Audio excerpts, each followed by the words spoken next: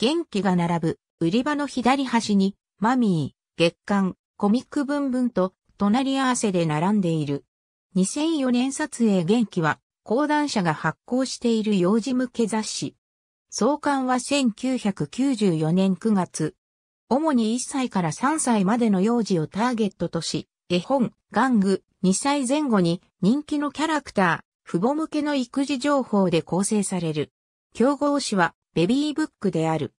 講談社は0から2歳児向けの雑誌を発行していないため、同社の雑誌では最も低年齢層を対象とした雑誌となる。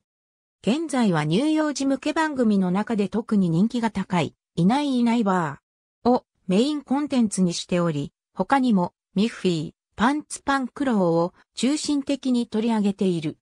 表紙にはこの3つのキャラクターが掲載されていることが多い。ただし、部数面ではベビーブックに大差をつけられている。2から4歳児向けのお友達や NHK 番組の専門誌、NHK のお母さんと一緒、いないいないばー、などといった他の講談社用紙誌と年齢層、目的が重なっていることも原因の一つとされる。